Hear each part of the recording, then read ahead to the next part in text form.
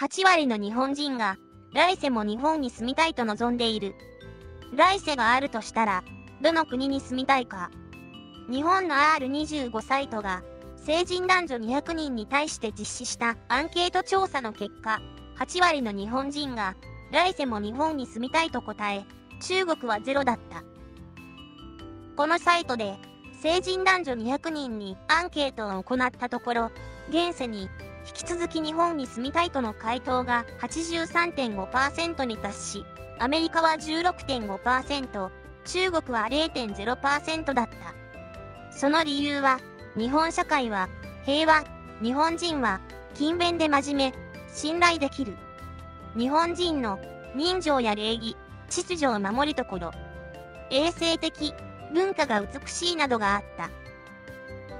アメリカに対しては、英語が母語で、世界でどこに行っても生活できる。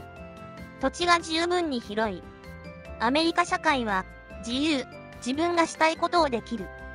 自分の夢を実現できる。アメリカ人の生活は、日本よりもゆとりがあるなど。アメリカが嫌な最大の理由は、アメリカの社会治安がひどい、だった。200人の日本人のうち、1人も来世で中国に生まれたいという人はいなかった。21世紀は中国の世紀だが、中国社会の治安が悪く、政治不安で自由に欠けているというのが理由だった。以下、中国の反応です。でも、日本では格差がひどく、それが固定化してしまっていることが問題なんだよね。中国もだんだん固定化してきているし、固まってきたらどの国よりもひどいぞ。中国とアメリカの貧富の差は比較的大きく生まれ変わったら大きな確率で社会の底辺になるリスクが高い。日本は相対的に見るとリスクが少ないよ。中国は相対的には少ない方だよ。日本のテレビを見ていると画面の上の方にしょっちゅう気象情報や警報が出る。地域によってはすごく災害が多いように感じる。中国に対する日本の見方はインドに対する中国の見方と同じだと思うよ。発展がどれだけ早かろうとも先進国に慣れていなかったり制度が完璧でなかったら他の国が羨ましがったりしないんだ。韓国の発展も早いけど日本ほどひどく中国に罵られたりしないしね。平民に生まれるなら日本は確かに素晴らしいよ富豪や高官の子ならやっぱり中国だ。みんなこう考えてると思うよ。500年前の日本人もそう考えるわけじゃないはずだ。風や水だって循環するんだ。中国はもう一度強くなる日が来るよ。じゃあもし君に機会があって来世があったら日本を選ぶかい？ないね。中国かアメリカだな僕は西ヨーロッパの小さめの先進国の国民になりたいな例えばスイスやルクセンブルクといった地域だね。大国同士の利益争いがなくゆったりと自分の日々を送ることができて気が楽じゃないか。大国でもいいし自分の生活が安心して送れるところならどこでもいいわ。どうせ政治と庶民は関係ないんだから。一回中国は経験したんだから、次はどこか他の国がいいね。僕はやっぱり中国がいいな。前提は前世の記憶があることだけど、国家民族を考えないのなら、個人的には日本に行ってみたい。アメリカが確実に良いとは思わないけど、日本の地震、津波、核汚染は文明のレベルがどれほど高くても天災、人災は免れないってことだからな。でも、質で見たらどうだ？同様の天災、人災が中国で起きたら絶対に日本よりも死者が少なくとも2倍はいると思うけど。中国人は多いからな。日本と中国は同じようなもんだよ。中国は人災が比較的多いが日本は天才が多い僕は中国だねもしみんなが行きたかったとしても日本がどれだけ強くても反発する人は出てくるんだよ。自分の国を改善する努力をすることだけが最も重要なんだ。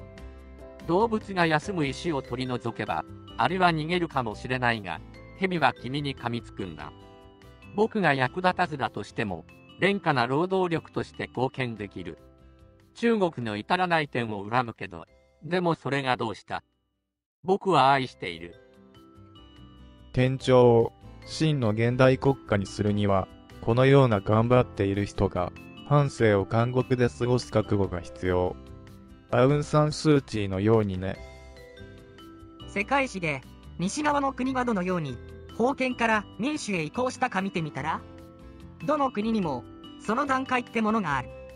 改革しなかったら、ダメに決まっているだろう。ヨーロッパ人が今尊敬しているマルクスだって、当時は政治犯とみなされて捕まえられていたんだよ。中国人はアメリカを望んでいる感じがあるよね。中国人はアメリカにそこまで理想を抱かない方がいいアメリカの警察はややもすれば殴ったり銃を撃つしかも無駄に殴るんだぞ僕の前の物理の先生はアメリカから帰ってきたんだけどアメリカの警察を見てから中国の警察を見たら親切が何かやっと分かったと言ってたんだ。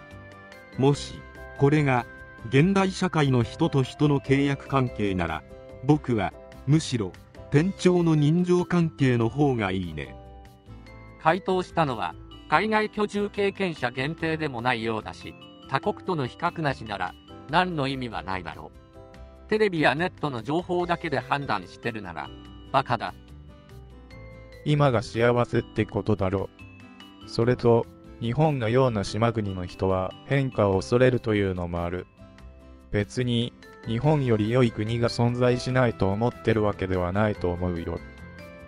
日本人が比較的国を愛しているってことは理解できたわ。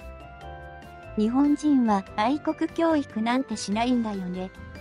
それなのに、一日中愛国教育をしているどっかの夢見たい国よりも愛国なんだ。人々がある国を愛するのは恋人を愛するのと一緒で可愛いと思うところがあるからなんだよ。ただ、その土地に生まれたからといってそこを愛させられるだけじゃダメなんだ。そうだね郷土文化を愛するのは愛国の基礎だけど中国人は自分の土地の伝統文化を大切にしないのに一日中愛党愛国を叫んでいるだけなんだよな。中国はネットができない農民や老人世代あと風世を除いて基本的に誰も中国に残りたいとは思っていない。お金があれば理性のある人たちはみんな移民して中国から逃げたいと思っているしねまあそうだな。特に、金持ちは、誰もここに残りたいとは思っていないだろうな。やはり中国に生まれたい日本人はいないか。もし中国に生まれたいなんて日本人がいたらこっちへ来る航空チケットをすぐに送ってやる現実を見ろよと俺だって日本に住みたいね